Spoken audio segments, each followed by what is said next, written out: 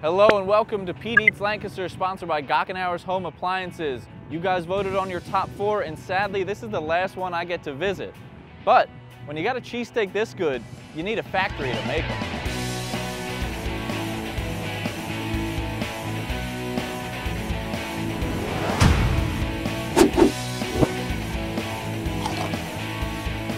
We are here at the Sandwich Factory Sports Lounge off Lititz Pike, aka the Factory, right down the street from my alma mater, Manheim Township. Go Blue Streaks. I'm with Eric.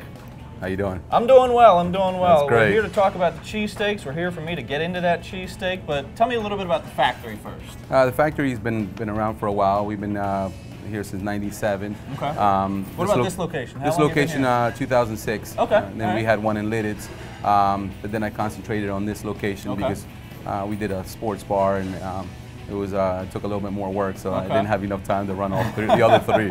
So um, we just have one. Uh, we have great service, Well, you great got the food. sports bar in here now too. You got a family restaurant and you got the sports bar over there. It's- Yeah, it's we have both awesome sides of it. Yeah, Uh, people can come in. Sometimes people come in here that don't want to sit around the bar scene, Yeah. and the, and the people that want to have fun and and, Yeah. uh, and get crazy over there, they, they can do it. Well, it de- it depends what mood I'm in when I come here. If, if we've lost, coaching baseball over at Township, if we've lost, I'm probably going over there, That's sitting over there, you know, kind of sitting around a little bit, watching another game. If, if we've won, you know, I'm over here reveling, getting my food. Awesome. But, you know, I, I, I've got the uh, the brick oven pizza, I've got the wings, and I've got the, the chicken cheesesteak, and they're all phenomenal. But tell me why this should be my next meal. Um, no, I mean we have great cheesesteaks. We have uh, two types of cheesesteaks here. Um, the our regular cheesesteak. We also make a Philly cheesesteak. Mm. Uh, the one you're biting into it, uh, which is really it's one of my favorite ones, is the cheesesteak hoagie. Um, that has provolone cheese, mayo, onion, tomato, lettuce.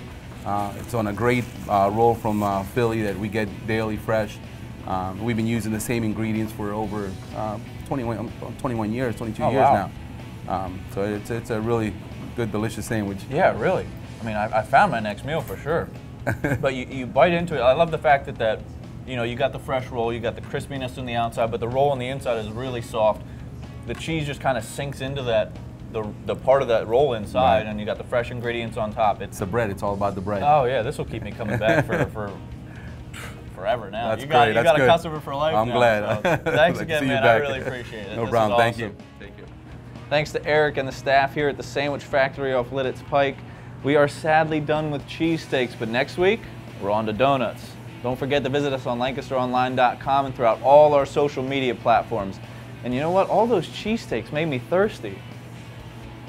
Oh, what a selection.